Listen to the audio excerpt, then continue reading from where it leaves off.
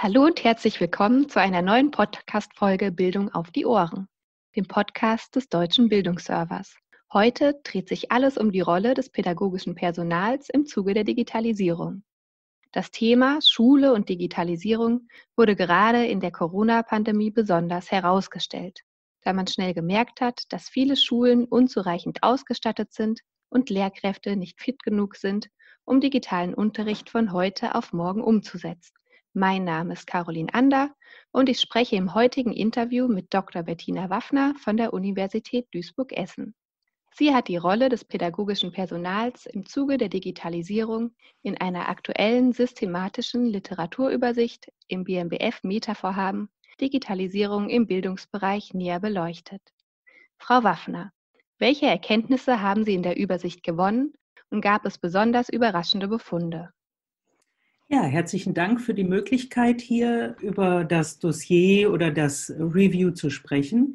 Für mich war insbesondere die internationale Forschung sehr interessant, denn in Deutschland haben wir wenige empirische Befunde über die Frage, wie, wofür und mit welchem Erfolg digitale Medien in der Unterrichtspraxis eingesetzt werden. Und dabei wurde sehr deutlich, dass die Bereitstellung von Technik und Schulungen zur Bedienung der Technik keinesfalls ausreicht, um digitale Medien erfolgreich in die Unterrichtspraxis zu integrieren. Das hat mich nicht überrascht, denn wir wissen aus Berichten aus Schulen häufig, dass eine bestimmte Technik, wie zum Beispiel interaktive Whiteboards, angeschafft werden, ähm, die dann aber nicht oder nur sehr eingeschränkt genutzt werden. Aus der Perspektive der Lehrkräfte konnten wir weitere Bedingungen identifizieren, die für eine erfolgreiche und nachhaltige Medienintegration wichtig sind. Was mich aber durchaus überrascht hat, das ist, dass auch im internationalen Kontext wenig digital gestützte didaktische Lerninnovationen vorhanden sind, die erprobt und erforscht werden. Offenbar stehen wir hier noch ganz am Anfang. Was allerdings durchaus festzustellen ist, ist, dass eine konstruktivistische pädagogische Grundhaltung, die Lernenden zentriert auf die Förderung selbstgesteuerten Lernens und einem Unterricht basiert, der Problemlösungsorientierung und Kreativität in den Mittelpunkt stellt. Und das hat einen signifikanten Einfluss auf das Ausprobieren digital gestützter Lerninnovationen. Und wie war Ihr Vorgehen, um selbst einen guten Überblick über die relevante Literatur zu erhalten? Immerhin haben Sie ja eine hohe Anzahl an passender Literatur für den Bereich Schule in der Suche identifiziert. Ja, in der Tat hatten wir über 3000 Titel recherchiert, die sich in diesem Themenfeld bewegen. Ich habe mich dann ausschließlich auf wissenschaftliche Zeitschriftenartikel fokussiert, in denen ja die aktuelle wissenschaftliche Debatte sehr gut abgebildet ist. Und außerdem habe ich die Titel ausgeschlossen, die den wissenschaftlichen Gütekriterien nicht entsprachen oder thematisch an den Forschungsfragen vorbeigingen. Insbesondere im deutschen Kontext gibt es sehr viele Erfahrungsberichte, die eben keine wissenschaftliche Forschung sind. Und das Review umfasst jetzt letztendlich 125 Titel, die in diese Forschungssynthese eingeflossen sind. Ja, das ist immer noch eine ganze Menge. Und haben Sie auch Faktoren gefunden, damit Lehrer und Lehrerinnen gute digitale Lehre anbieten können? Geben die analysierten Studien darüber Aufschluss? Ja, ich denke, dass sich zwei entscheidende Aspekte nennen lassen. Insbesondere die internationale Forschung zeigt, dass die Möglichkeit, kontinuierlich Erfahrungen mit dem Einsatz neuer Technik und Programmen und das Ausprobieren entscheidend wichtig sind. Dann braucht es Zeit und verschiedene Netzwerke, sich über diese Erfahrungen auszutauschen. Und ein anderer Punkt ist die Unterstützung sowohl in Form eines technischen und administrativen Supports als auch in Form von Hospitation und einer gemeinsamen Reflexion der Unterrichtspraxis. Was Lehrkräfte ausmacht, die ihr Fach gut vermitteln können, ist eine kompetente Verknüpfung von Fachwissen und pädagogischem Wissen. Und nun kommt eine weitere Komponente hier hinzu, nämlich das technologische Wissen. Auch das bedarf einer Verknüpfung mit dem Fachwissen und mit dem pädagogischen Wissen, damit digital gestützte didaktische Unterrichtsformate entstehen können. Und auf welchen Themen lag bei den Befunden der Fokus, wenn es um das pädagogische Personal ging?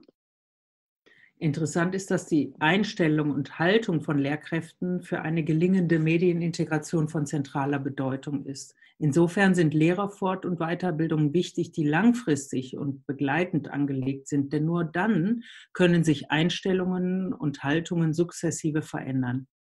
In den Studien zeigt sich, dass eine positive Einstellung zu digitalen Medien in der Bildung das Ausprobieren und sich auf ein fremdes Terrain zu begeben fördert. Wenn ich der Ansicht bin, dass Kinder vor der Arbeit mit digitalen Medien geschützt werden müssen, werde ich mich darauf kaum einlassen können. Im Austausch und in Fortbildung kann ich aber die Vielfalt der Arbeit am Bildschirm erkennen und ausprobieren und dadurch ein differenzierteres Bild entwickeln, was die Herausforderungen und auch die Gefahren sind, denen sich Kinder und Jugendliche im Netz begegnen. Und ein weiterer Aspekt, den habe ich eingangs schon genannt, ist die pädagogische Grundhaltung, dass eine konstruktivistische pädagogische Grundhaltung durchaus förderlich ist, um digitale Medien in die Unterrichtspraxis einzusetzen. Aber es gibt auch noch einen dritten Befund, was sich direkt auf die Lehrperson bezieht.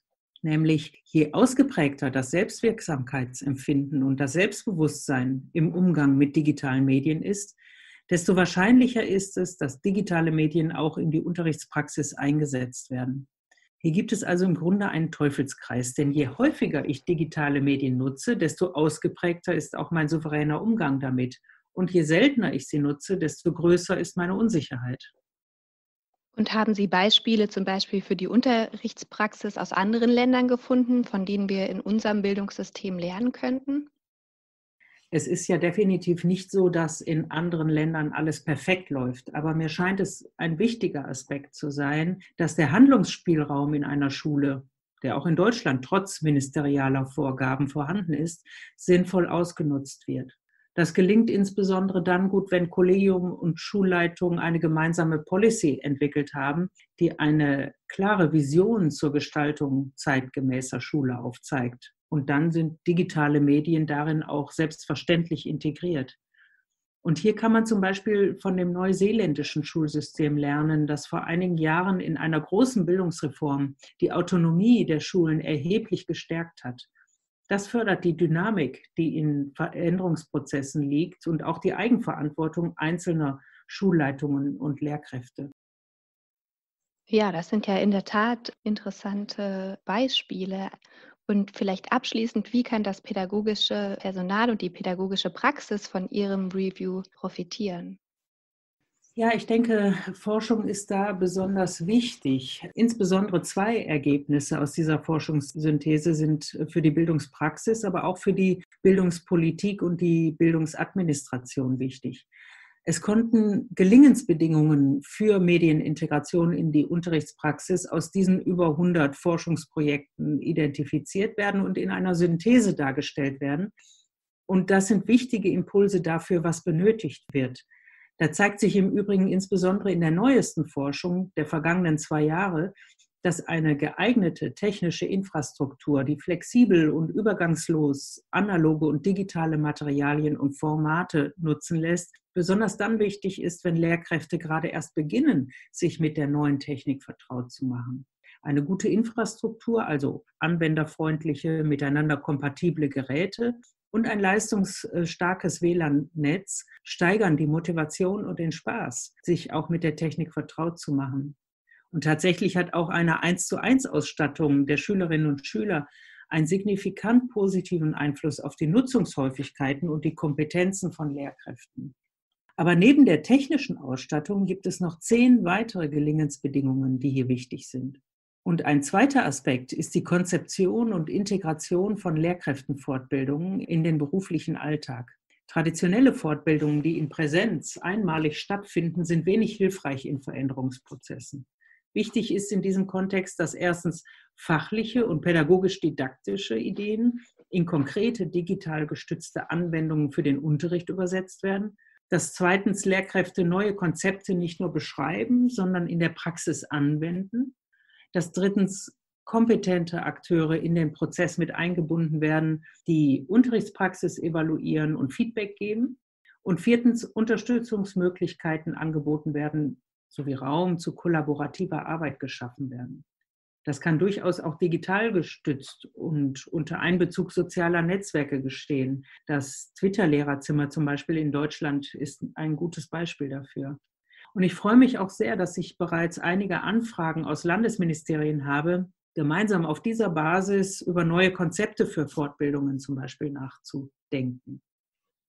Ja, wunderbar. Vielen Dank für den interessanten und umfangreichen Einblick in das Dossier und auch Ihre zukünftige Arbeit in diesem Bereich. Und dann freue ich mich schon auf den zweiten Band der Reihe Bildung im digitalen Wandel, in dem Sie sich der Frage der Organisationsentwicklung im Zuge der Digitalisierung widmen werden. Dann schönen Tag und bis bald. Ja, herzlichen Dank.